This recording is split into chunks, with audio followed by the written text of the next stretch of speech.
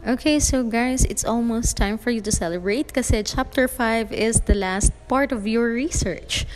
So dito po sa chapter 5, it includes the summary of findings, conclusions, and recommendations. And dito naman nakalista, ting, kita nyo naman sa module, nakalista po dyan kung ano yung nilalaman ng chapter 5. So we have the major findings, we have the conclusions, and also the recommendations. So, sa summary of findings, hindi na kayo mahihirapang gawin yan, ikakopy nyo lang po. Tingnan nyo. Ganito dapat ang format ha. Chapter 5, Summary of Findings, Conclusions, and Recommendations. Summary of Findings. Ano ang nakalagay dun sa Summary of Findings? Once again, copy-paste ito. The following are the salient features of the findings of the study.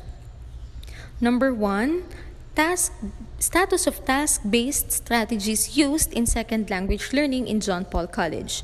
So, ito pong number one nyo, dyan nyo ilalagay ang inyong independent variable.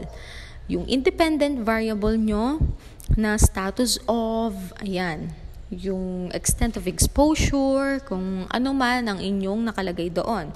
And then yung 1.1, 1.2, at hanggang 1.5 dito sa example, yung sa inyo 'di ba, tatlo lang.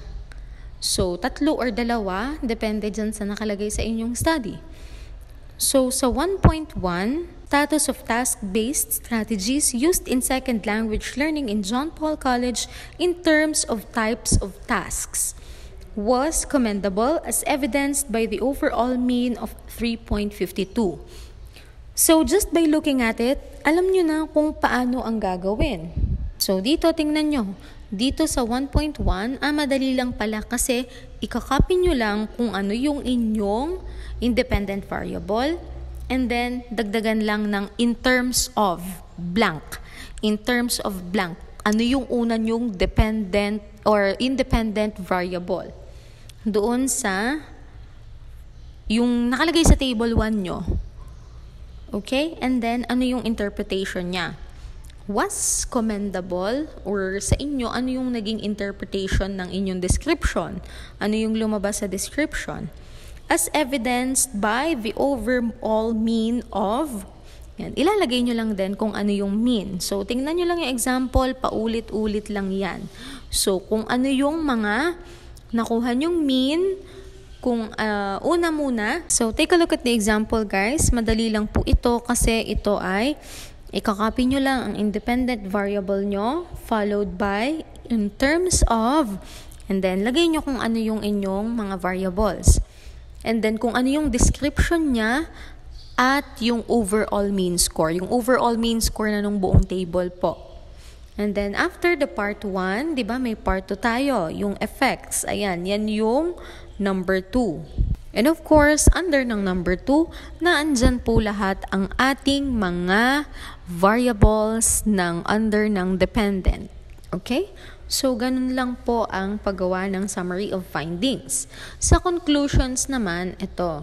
Dito naman kayo magbibigay ng sarili ninyong pananaw, sarili ninyong opinion, your own perception, ano yung mga nabubuo yung conclusion based doon sa mga results.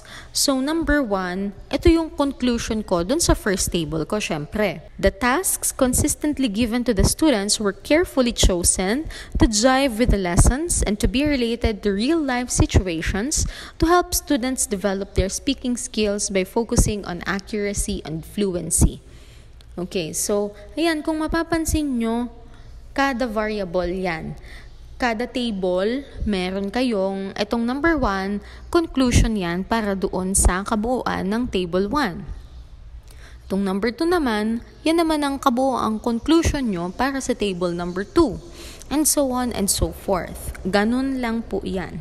Kung ilan ang variables nyo sa independent at dependent, pag kinombine, ganun din kadami ang inyong conclusions, recommendations, and of course, yung kanina, yung summary of findings. Wala na kayong idadagdag, yun lang yon. And then recommendations, ganun din. Kagaya sa conclusion, kung ano yung recommendation mo sa number 1, ito ay galing doon sa table 1 mo. Okay? So, ito yung gusto mong i-recommend doon sa kinalabasan ng iyong table 1. So, recommendations, the researcher formulated the following recommendations. Okay, so copy-paste na lang yan. Ganito na ganito din. The researcher or the researchers, in your case, ayan, i-copy nyo lang yung opening statement na yan. And then, recommendation number one, yan ang recommendation nyo for the outcome doon sa inyong first table. Second table, yung number two. Third table, yung number three. And then, since merong tatlo lang or merong dalawa lang na variable sa inyo under independent, sundan nyo lang itong part 2. Isunod nyo na agad yung part 2. So, magiging 6 or 4 ang inyong gagawin. Depende yan sa inyong variables ulit. Doon yan nakadepende. At huwag kayong gagawa ng recommendations na wala namang kinalaman doon sa inyong variable or doon sa nakuha nyong result doon sa variable na yon. Okay? Hindi ito basta-basta na pwedeng i-search kasi kailangan ay i-analyze nyo. Baka ang gawin ng iba sa inyo, magsa-search na lang ng recommendation para doon sa kabuuan. No. Kailangan ito ay sarili ninyong recommendation para sa kanila. Kasi these are one of the main questions na tinatanong ng panelists during defense. Okay, so ito na guys, references. Yung mga pinagsa-search ninyo mula chapter 1 hanggang sa chapter 2, chapter 3, ipunin ninyo yung links. Ngayon, for sure naman, hindi naman kayo, uh, hindi naman kayo yung tipo na nagbubura ng history sa inyong mga browser. So, pwede ninyong balikan sa history ng browser para hindi kayo mahirapan. Sa references po, ganyan ang format natin. Makikita nyo nakalagay bibliography, books, internet website, magkahiwalay, hindi magkalabo-labo. So, at least one book ang gagamitin nyo. Open ang ating library, pwede kayong gumamit doon ng reference like books or whatever. So sa books, ito muna ang nauuna. Ganito ang format ng gagawing bibliography. Hindi nyo basta ilalagay doon ang title ng book, kung anong page, yun na yon. Hindi. So tingnan ninyo ay last name, first name, and middle name ng author. Yung EDD naman po, yan ay kanyang title. And then yung facilitate, uh, Facilitating Human Learning, first edition, 2009, yan ang title ng book. Yung sinasabi kong title dito ng EDD, title yan, Doctor yung, Doctor of Education yung sumulat nitong book, yung nag-author ng book. So, itong naka-italic na ito, yan po ang title of the book itself. And then Manila, Philippines, saan yan pinublish? Rex Bookstore, yan ang publisher. Okay, so tingnan nyo yung second example. Last name, initial ng first name, and then the title. Title nung author. So, meron siyang uh, doctorate degree. And then, naka-italic po ulit yung kanya, yung title ng book mismo. And then the last one is yung Manila, Philippines is location of the publishing house kung saan siya na-publish. And then yung Katha Publishing Co. Incorporated, yan ang kanyang publishing house. Okay, and then sa internet website, hindi lang po basta ididikit ang link, hindi lang ipipaste ang link sa document nyo at yun na yun. Hindi, may format din siya. So, kagaya nito, nakikita nyo yung link nakalagay dyan. Pero, yun, may pangalan ulit sa una, Dove R. Yung Dove, last name, R, initial ng first name. Then 1998, kailan po ba niya yan inilagay sa internet? Kailan yan na-publish sa net? So, ilagay yung year kung kailan. Lady Freedom Among Us. Ayan ang title ng kanyang article. The Electronic Text Center. Okay? Retrieved June 19, 1998 from Alderman Library, University of Virginia. Okay, so saan mo nakuha yan? Saan mo nakuha? And then yung retrieved kanina, yan yung June 19, 1998. Ayan. Yun yung time na na-retrieve yung, na-retrieve yung file galing saan? Sa University of Virginia. So, example lang naman yan So sa internet website, example lang naman yung nandito sa ating module sa bibliography. Pero kailangan sundin nyo pa rin yan. So ang mangyayari dyan ng internet website, magsisimula ang reference ninyo sa last name ng author. Last name, and then initial ng first name, and then year kung kailan siya na-publish online.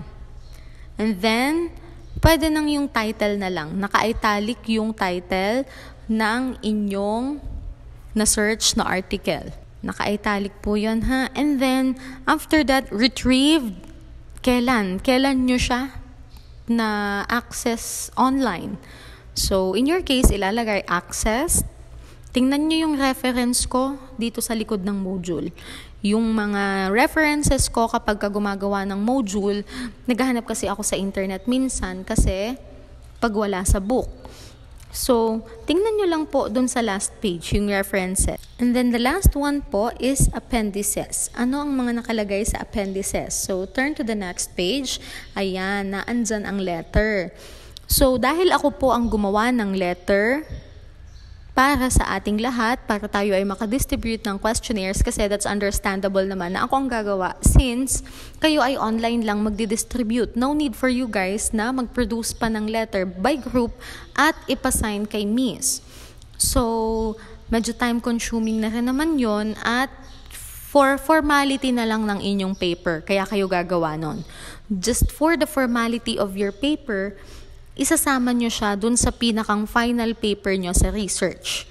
Yung letter. Ito yung sample. Ito kasi yung, exa- yung ginamit kong letter nung nag-send ako ng questionnaires when I was in college.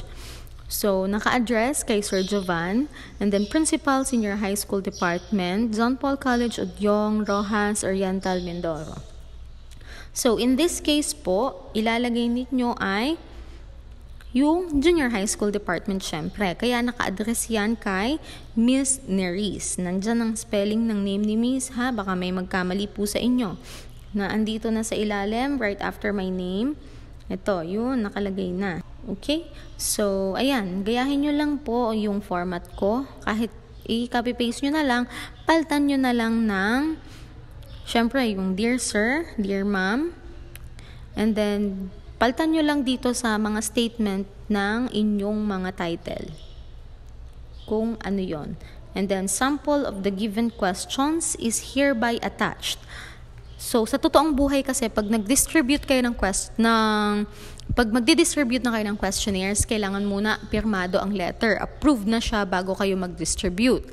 So, since kayo ay online lang naman, i-attach nyo sa likod nitong letter yung inyong mga questionnaire. Yung final copy ng questionnaire nyo, yung wala pang sagot ha, baka ang ipasa nyo ay yung sinagutan ng inyong respondent. So, ito ay sa likod para naka-attach siya, kita namin siya. And then finally guys, ito na, curriculum vitae. So, sa curriculum vitae, gayahin lang ang format na pinrovide ko sa inyo. Kailangan meron kayong career objective. So, sa career objective naman, kailangan ano yung objective nyo sa paghahanap ng career?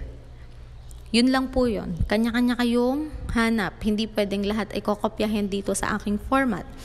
And then, ayun pala, yung sa taas, yung name, medyo malaki ng konti, naka-bold, address, contact number, and then email address, and then ito pong insert photo here, pwede na ang 2 by 2 or 1.5 by 1.5. So, maglalagay kayo dito, hindi yung mga naka-heart sign, yung mga naka-peace sign, mga nakangiwit, or whatever, pero formal po, yung pang ID picture na picture nyo. Okay? At kailangan po naka-uniform. Hindi pwede na kung ano-anong suot nyo na mga makukulay na damit, naka-crop top, whatever. Sa lalaki naman, kailangan po ay maayos ang itsura, walang mga hikaw, at malinis ang gupit. Ha? Hindi pwede yung ano, kasi pag defense, kailangan yan na very important ang inyong malinis na appearance. And, okay, so kung wala kayong na-attendan na trainings and seminars, uh, just alisin na lang yung part na yon. And then, achievements nyo, ayan, kung anong mga achievements nyo, pwede naman sa sports or whatever. Okay, so personal data comes last. Ayan, age, date of birth, civil status, and then spouse. Hindi considered na spouse ang mga jowa nyo, ha? So, sa spouse po ay yung talagang legally married kayo. And then nationality, religion. Yun lang po.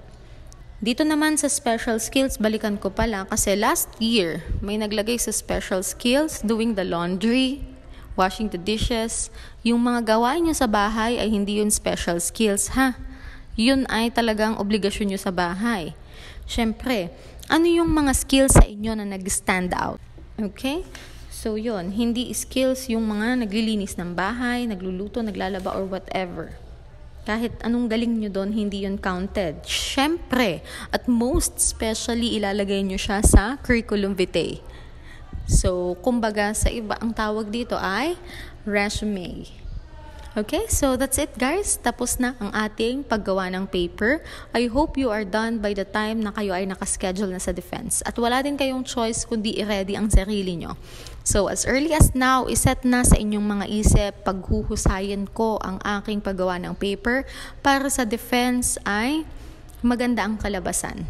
Kasi once na kayo ay naging maayos ang outcome sa defense, pwede kayong magkaroon ng award. Guys, meron tayong mga awards dyan for defense.